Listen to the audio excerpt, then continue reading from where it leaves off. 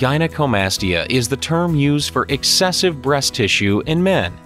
This embarrassing condition may result from hormonal abnormalities, excessive weight gain, or it may occur without any apparent cause. Gynecomastia can begin in the teens and can cause severe emotional trauma. Men with this condition may go through life avoiding any situation that may require them to remove their shirt. They often buy bulky shirts to help hide their excessive breast tissue. Today, men do not have to live with this excessive breast tissue. With modern tumescent liposuction, this excessive tissue can be removed, leaving the chest with a normal male contour. The procedure can be performed right in our office, and most individuals return to work in just a couple of days. Unlike the old fashioned breast reduction procedures, there are no large incisions or large scars.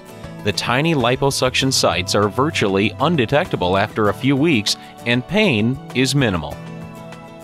If you are one of the thousands of men suffering from excessively large breasts, arrange a consultation today and see what it's like to take your shirt off without embarrassment.